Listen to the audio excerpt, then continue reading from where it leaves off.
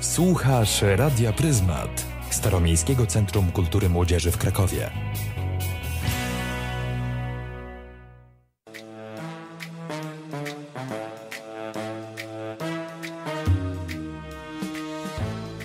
Operacja Styl.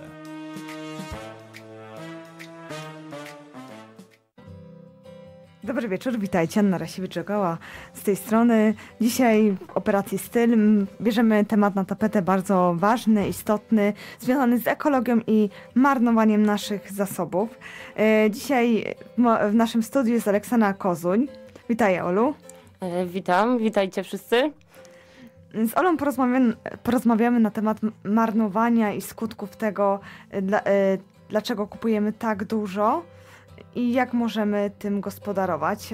Ola jest odpowiedzialna e, za inicjatywę Cichodzielni w Krakowie i postara nam się wyjaśnić, co możemy w tej kwestii zrobić, pomóc naszej planecie, a jednocześnie rozsądniej podejść do kupowania i oszczędnego gospodarowania naszymi zasobami. Zostańcie z nami. Teraz Operacja Styl. Aleksandra jest ze mną po to, żeby opowiedzieć o idei ciuchodzielni. Olu, nieświadomie. Jak temu możemy sprostać? Mm, Przede wszystkim e, kupujemy dużo, dużo, dużo za dużo. E, totalnie nieświadomie. Ulegamy mm, wykreowanym sztucznie potrzebom. I tak naprawdę czasami nam się wydaje, że nie możemy nic z tym robić, bo e, jest nam pewnie i będzie nam pewnie coraz trudniej, ponieważ e, towar, który jest oferowany w sklepach jest tak niskiej jakości, że nakręca to nas do kupowania coraz więcej. E, Jednak oczywiście powinniśmy się nad tym zastanowić i mm, próbować po prostu mm, po prostu spojrzeć prawdzie w oczy, że, że jakby to, co robimy jest tak złe dla naszej planety, e, że powinniśmy po prostu, po prostu podejść do tego inaczej niż tylko kierować się własnymi potrzebami estetycznymi, tym, że chcemy wyglądać modnie, tym, że co każdy sezon chcemy wyglądać tak jak e, manekin z wystawy. E, jakie są e, sposoby, żeby sobie... Z tym radzić, tak. Na, po pierwsze Czyli trzeba... nie kupować za dużo.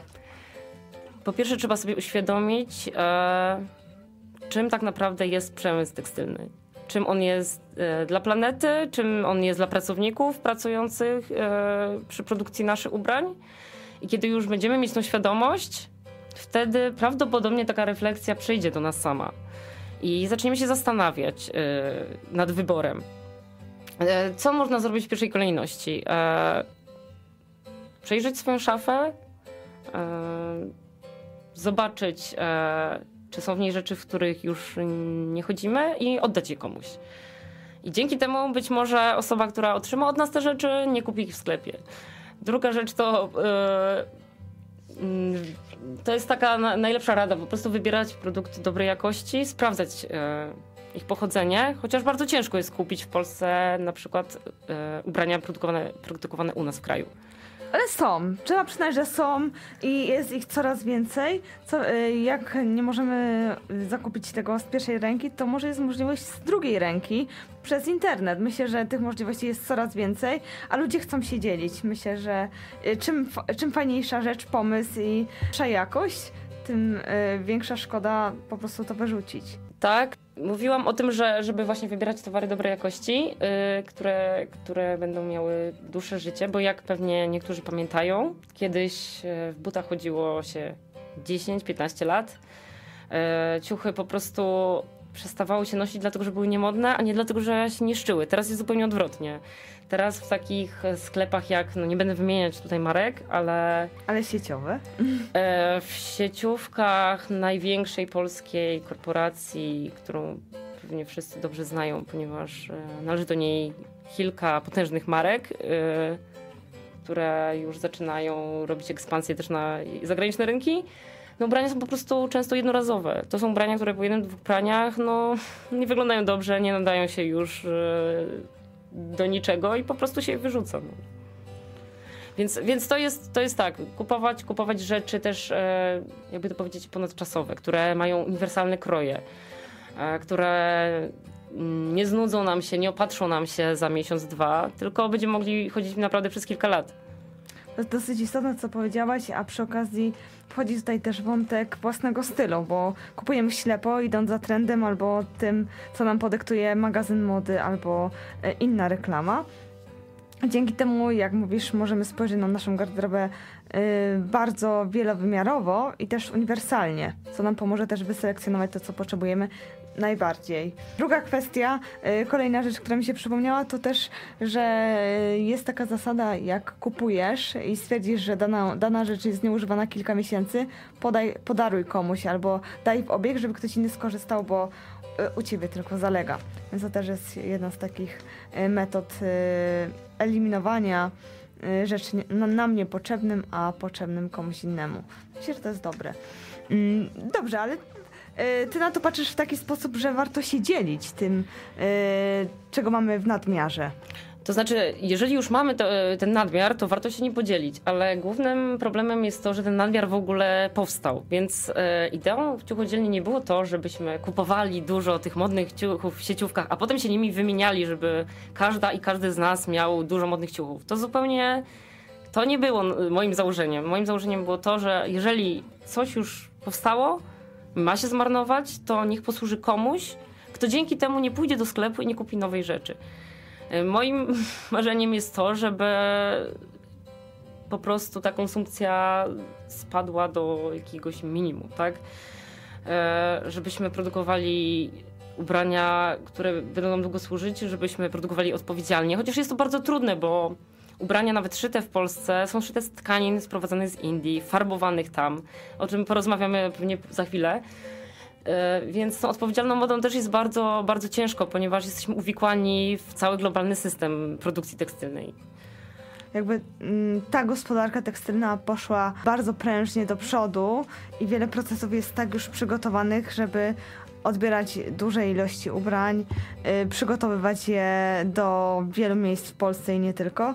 Także to też jest przeszkoda y, taka, która sprawia, że trzeba y, sporo czasu, żeby tą konsumpcję obniżyć. Jeżeli obniżyć, to może nie y, tylko dlatego, że kupujemy mniej, ale żebyśmy kupowali racjonalnie.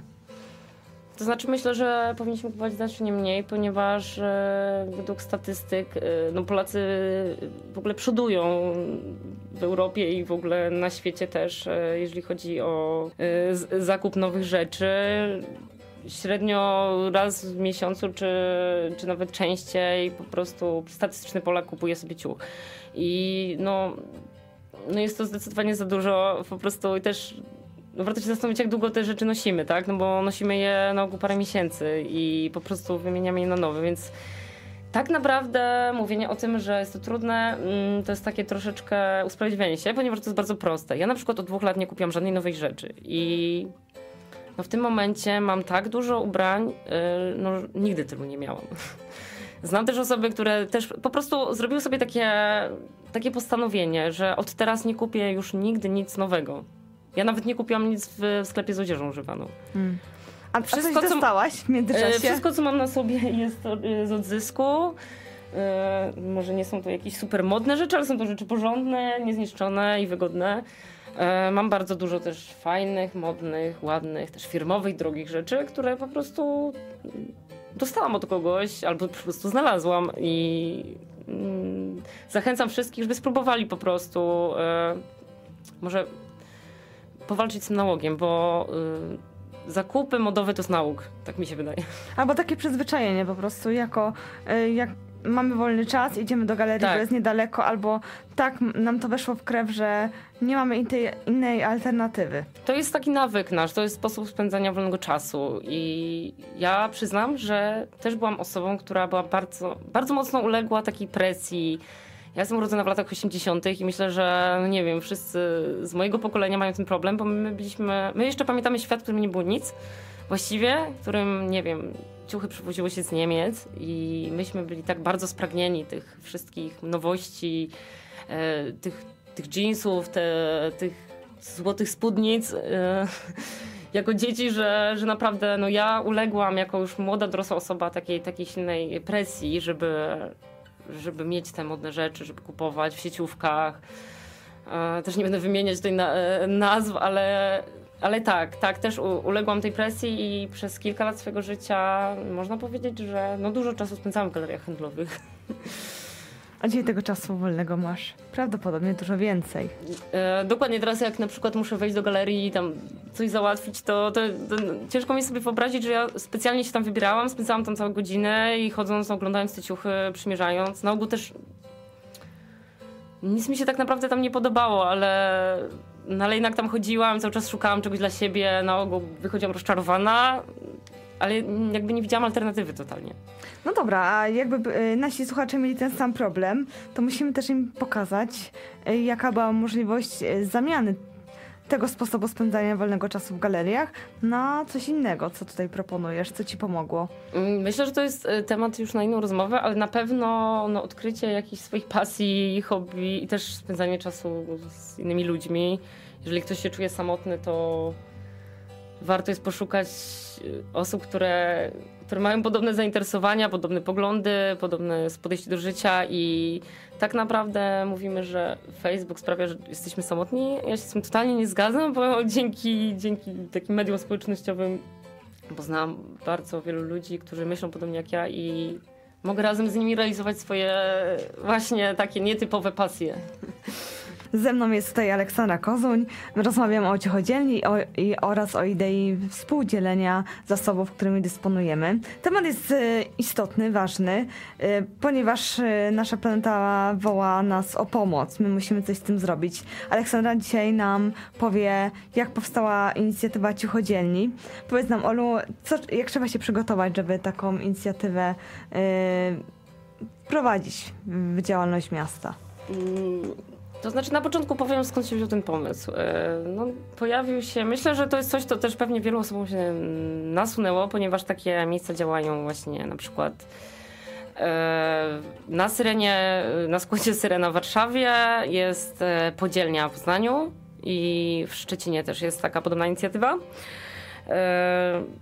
Ja na ten pomysł padłam już kilka lat temu. Próbowałam go nawet zrealizować wcześniej w innym mieście, ale powodów różnych się to nie udało. I e, no, zainspirowało mnie do tego po prostu to, co na co dzień tak obserwowałam po prostu w swoim najbliższym otoczeniu, czyli na swoim osiedlu, w którym mieszkam w Krakowie. E, przy wiatach śmietnikowych ludzie bardzo często zostawiają właśnie ubrania. Czasami są one wyprane, ładnie poskładane i zostawione w jakimś tam reklamówce, no a czasami są po prostu rzucone prosto do kontenera.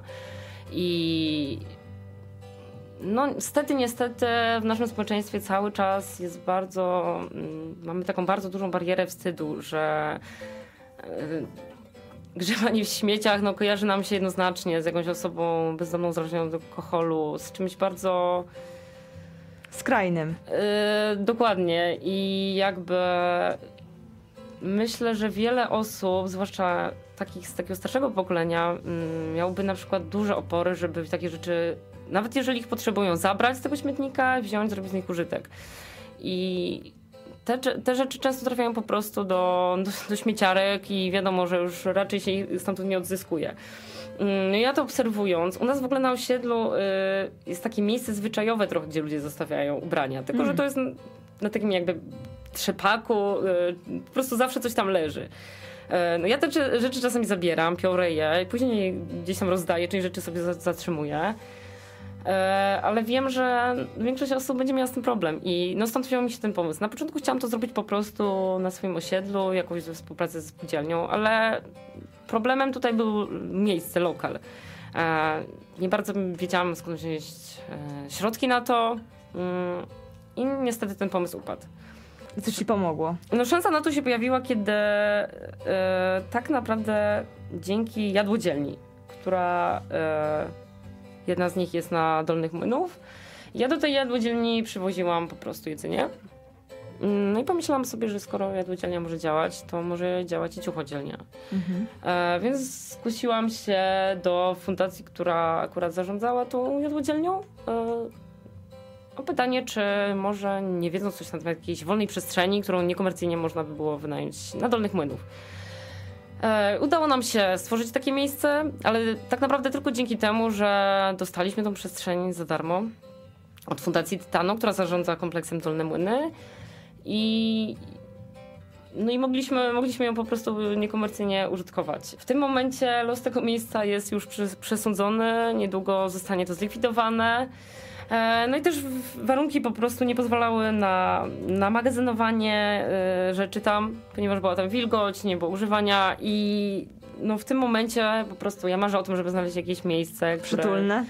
Przytulne, suche, czyste miejsce, gdzie, gdzie bym mogła otworzyć to na nowo, ponieważ e, no, użytkownicy czekają, domagają się, pytają się, kiedy, kiedy wreszcie się otworzymy na nowo. Jesteś w trakcie poszukiwania nowej, nowego miejsca. Tak, jestem w trakcie poszukiwania nowego miejsca. E, myślę, żeby to był jakiś miejski lokal, który też może spróbuje znaleźć finansowanie jakiś z budżetu miasta, ponieważ no, z założenia jest to non-profitowa działalność, czyli ja nie miałam pieniędzy, żeby zapłacić na przykład wolontariuszom. Yy, znaczy, pracownikom. E, też e, nie, nie byłam w stanie pozwolić sobie na to, żeby być tam cały czas, tak? No bo wiadomo, że każdy musi tam zarabiać jakieś pieniądze. E, to wiązało się jednak z jakimiś kosztami. To miejsce założenia miało funkcjonować samo. Ja myślałam, że po prostu miejsce powstanie, a użytkownicy sami będą o nie dbać. Czyli będą po prostu sami ubrania, które przyniosą bo jeszcze może powiem, na czym to polegało. Ciuchodzielnia proszę, była... Proszę, proszę. Właśnie, bo to jest chyba najważniejsze. Ciuchodzielnia była miejscem, e, do którego każdy mógł przynieść rzeczy, których już nie potrzebuje. Oczywiście no, nie zniszczone jakoś bardzo, nie brudne, nie dziurawe. Tylko takie, które komuś się mogą przydać. I to selekcjonowaliście, tak? Nie, nie, nie. E, mhm. To działało na takiej totalnie oddolnej zasadzie, e, że każdy może przynieść, tam były wieszaki, jakieś tam półki i zostawić te rzeczy. I każdy też może przyjść i wziąć ile chce co potrzebuje. I no dla mnie wielkim zaskoczeniem było to, że ludzie więcej przynosili niż zabierali z powrotem. Mhm. Czyli tych rzeczy był na nadmiar. I to naprawdę mieściliście, były... mieściliście się w tym pierwszym lokalu? No. Na początku w pierwszym lokalu nikt nie, nie spodziewał się, że to się będzie cieszyło aż takim powodzeniem. Mhm. I bardzo szybko właśnie narosły takie duże sterty rzeczy. Pierwsze miejsce było całkowicie otwarte i tam przychodziła młodzież po imprezach, e, no, robili bałagan, więc no, nie miało to, nie miało to szans powodzenia w tym miejscu. Później, mhm. kiedy przenieśliśmy się do takiego drugiego zamykanego pomieszczenia, to wtedy było już lepiej.